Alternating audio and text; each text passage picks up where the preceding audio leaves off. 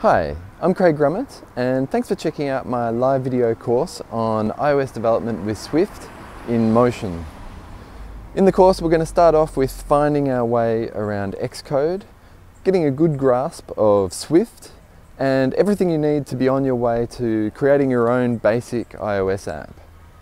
We're going to explore topics in iOS such as navigating between scenes, adaptive layout, background tasks, displaying data, storing data, and we'll explore some different debugging techniques.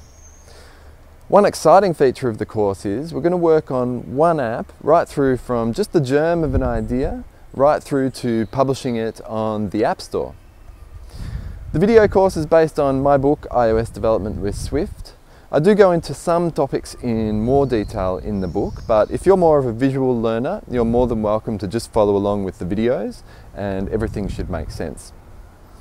The course has been designed for people with some experience in programming. This way we can skip past all the beginner stuff and cut straight to what's new and interesting about Swift.